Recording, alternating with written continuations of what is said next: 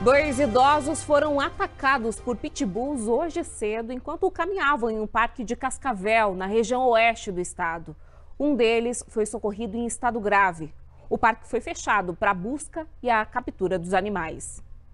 Seu Evandro mora na região há mais de 30 anos e se surpreendeu com a notícia logo cedo. Aí anda cachorro por aí, mas é cachorro manso com os donos. Os donos passeiam aí no parque com eles, né? Agora, pitbull bravo para atacar as pessoas nunca aconteceu, não. Essa é a primeira vez. O ataque foi feito por três cachorros da raça pitbull. As vítimas, dois idosos. Um deles, de 79 anos, ficou em estado grave. Ele teve vários ferimentos nas pernas, inclusive exposição óssea. Já o segundo, de 77, teve ferimentos também nas pernas, pés e cabeça.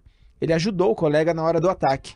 Ambos foram atendidos pela equipe do SAMU. Segundo testemunhas, os três cachorros são brancos e parecem estar bem alimentados. Até a Guarda Municipal, Corpo de Bombeiros, Secretaria de Meio Ambiente e também Polícia Militar fazerem buscas e encontrarem os animais, ou então o tutor ou tutores, o Parque Vitória segue fechado para visitação. Porém, nessa entrada aqui da rua 7 de setembro, a gente encontrou o portão assim, aberto. Equipes da Guarda Patrimonial realizaram rondas, mas sem nenhum retorno positivo sobre o paradeiro dos cães. O caso, além de indignar, também revolta a comunidade. Isso aqui é normal, isso é frequente. A gente fala com as pessoas, as pessoas ainda ficam brabo, entendeu? As pessoas são arrogantes, então tem que ter conscientização dos proprietários dos animais. É um absurdo que acontece não só aqui no Parque Vitória, como em todos os demais parques.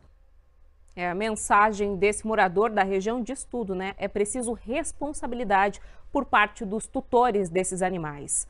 Uma das vítimas foi levada para o Hospital São Lucas e a outra para uma unidade de pronto atendimento.